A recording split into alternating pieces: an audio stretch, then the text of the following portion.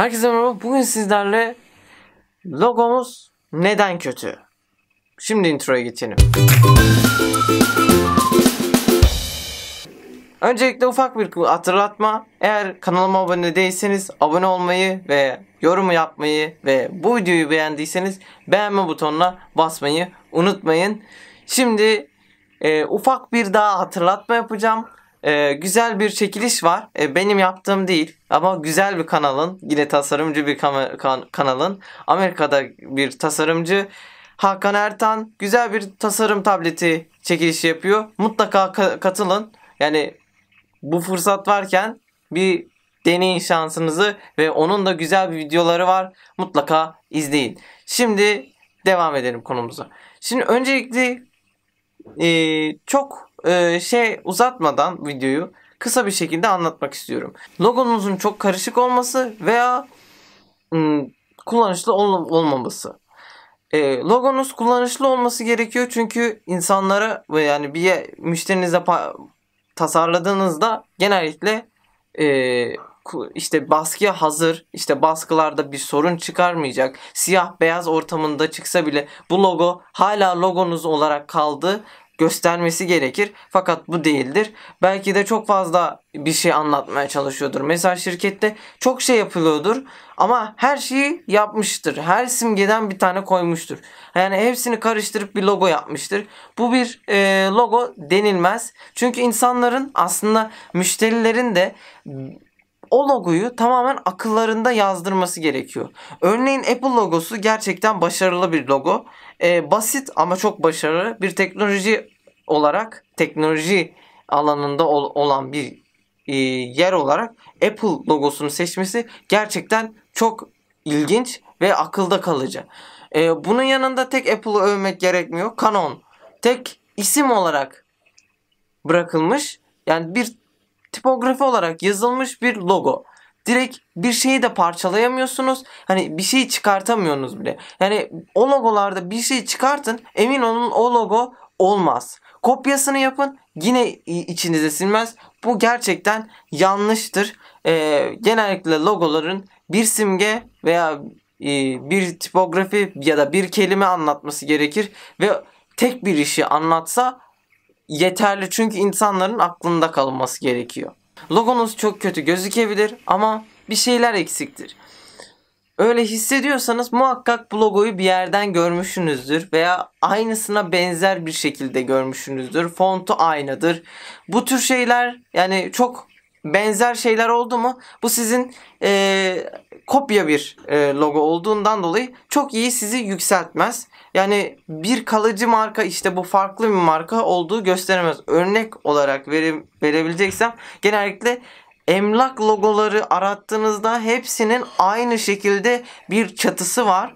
Ee, ve çatılardan başka bir şey değiştirmiyorlar. Çok ilginç bir şekilde e, hani bir şey eklemiyorlar. Hep aynı logo. Hani ekstra bir şey eklemiyorlar. Böylelikle içinizde bir sıkıntı veya böyle işte bir şeyler eksik olduğunu düşünebilirsiniz. Ee, bunu da aslında e, şirketlerin şöyle bir şey yapması gerekiyor logo konusunda. O şirketi tamamen başta dediğim gibi yansıtması gerekiyor. İşte o şirketle hakkında bir bilgi vermesi gerekiyor ya da hani bir bilgi vermesi gerekiyor ki e, çok karışık da olmasın başta dediğim gibi. E, çok basit olmasın. E, evet çok basit olmaktan çok kaçın. Ee, hani çok basit de olmasın derken basit logolar yapın ama iyi olsun. Yani bir şeyleri düşündürsün insanlara. Evet bazen ee, o kadar çok ee, görüyorum dediğim gibi vektörel hallerini bulup aa tamam oldu bitti değil. Ee, bu tür ee, şeylere yaparken logo tasarlarken diyeyim öncelikle bilgisayar kullanmayın. Tamamen ee, soyutlayın. Ee, referans alabilirsiniz fakat e, Pinterest gibi yerlerden referans alabilirsiniz. İşte örnek veriyorum görmüşsünüz bir yerden. Yani tamamen kopya çalışmayın. E, Bilgisayar kullanmayın. Genellikle kağıt ve kalem olsun yanınızda. Kağıt ve kalemle logo çizin. E, o fikirler hakkında yorum yapın. Çizdiğiniz bir logoyu bile yorumlayın. İşte bir şey eksik. İşte o şu eksiktir. Belki fontu eksiktir. Belki e, simgesi tam olmamıştır. Bunları oturtarak yavaş yavaş 50 tane taslak çizin. Ve bu 50 tane taslak çizerken bu yorumlarken de size daha iyi bir logo çıkacağından emin olun. Ha Lego 50 çok mu derseniz e, bunu 20'ye de düşürebilirsiniz. E, yani elinizden gelen şey ilk başta tabii ki de logoyu çize, çizmektir. E, bilgisayarda değil. Kesinlikle bilgisayarda çizmeyin. Öncelikle kağıt ve kaleme çizin ve taslaklarınızı oluşturun. Onlar üzerinde yorum yapın. Ona göre logonuzu çıkarın. Logonuz çok güzel gözükebilir. Ee, ama hani bu logo güzel olabilir ama mesela çok uzundur. Ee, Birçok kelime ifade ediyordur. Dediğim gibi çok çizgiseldir. Ee, çizgisel olunca da bunu bir yere dediğim başta dediğim gibi kullanışlı olamaz. Ama siz eğer bunları dikkat ederek bir logo yaparsanız kullanışlı bir logo çıkartırsanız tabii ki de daha iyi olacaktır. Logo yaparken ya da birisine logo yaptırırken diyeyim e, logonun güzel olması için işte 5 dak 5 dakikada 5 liraya da yapabilen var. 5 işte 10 liraya yapabilen var. Bu tür tasarımlar tasarımcılar da var. Ama e, ben onların tasarımcı olduğunu tam olarak düşünmüyorum. Eee neden o zaman e, bir şirket 20 bin lirayla 100 bin lira arasında bir logo tasarlasın? Neden 5 bin lira versin? Logo e, yaparken bu kişilerin 5 liralıkla e, önce başlayalım. 5 lira olan şeyler genellikle basit fikirlerdir. Yani direkt kopyala yapıştır fikirleriyle çalışıyor. Yani çok bir özel bir şey yok. Demek ki bu konu hakkında çok bir şey yormamış Demek ki hemen hazır bir şey var. Yani düşük bütçelerle logo yaptırmak demek ki e, size e, evet bir yerde karlı olabilir. Fakat aslında o kadar iyi bir logo çıkmayabilir aslında. Yani bir yerde kesinlikle bir, bir yerde internette araştırırken size benzer bir logo çıkarabilirsiniz. Ee, onun için hani ben de ben demiyorum şurada bana verin ben size yapayım işte benim fiyatım bu e, bununla ilgili. Ben size aslında doğru olanını söylemek istiyorum. Yani o kadar ucuza logo yapan var ki yani hiçbir şey yapmıyor. Yani tasarımcı diyemiyorum. Ben diyemiyorum. E, siz diyebilirsiniz. Belki iyi bir tasarımcıdır ama e, başka bir şeyde logo tasarlamak da değildir. Ama bu kadar ucuza da indirip ondan sonra ben tasarımcıyım işte logoyu ben çok hızlı yaparım. Logoyu işte Abicim sen hiçbir şey yapmıyorsun ki bilgisayardan bulup hemen yapıştırıyorsun. Peki 5000 liralık veya 10 bin liralık bu yüksek fiyatları yapan kişiler ne yapıyor? Önce bu fikir konusunu oluşturuyor. Sizin ve şirketiniz hakkında o kadar çok bilgi alıyor ki ee, işte sizi ne yansıtıyor? Siz neye yans e, neye inanıyorsunuz? İşte bir renginiz var mı? Bunları e, şey renklerinize de dikkat ederek size bir logo e, çıkarıyor. Tabii hemen bir tane logo çıkartmıyor. Yine taslaklar oluşturuyor. Fakat onun da belli limiti var.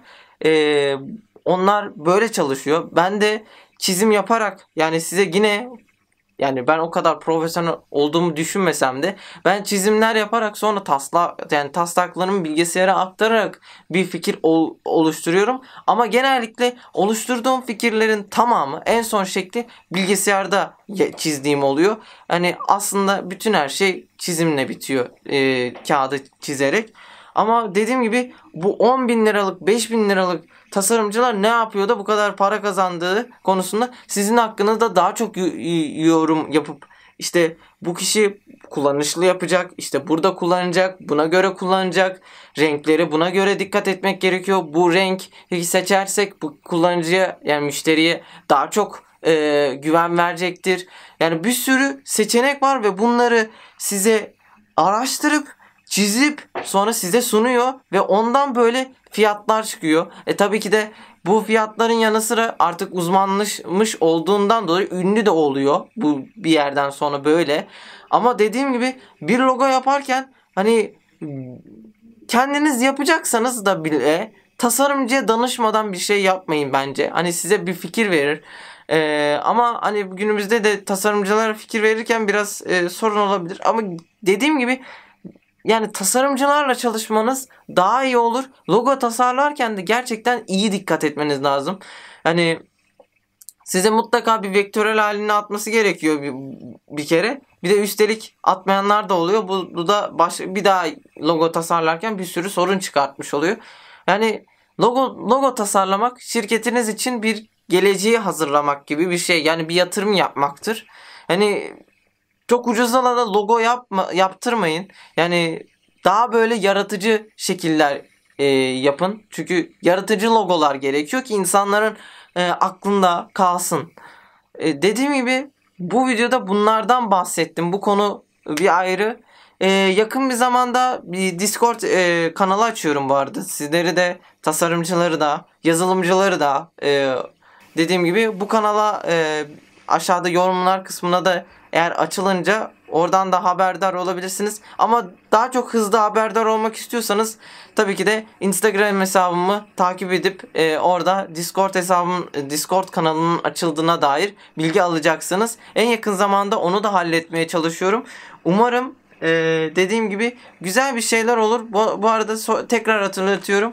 Eğer e, grafik tasarım çekilişine katılmak istiyorsanız aşağıda yorumlar kısmına ekleyeceğim. Mutlaka katılın. Bir sonraki videoda görüşmek üzere. Bay bay.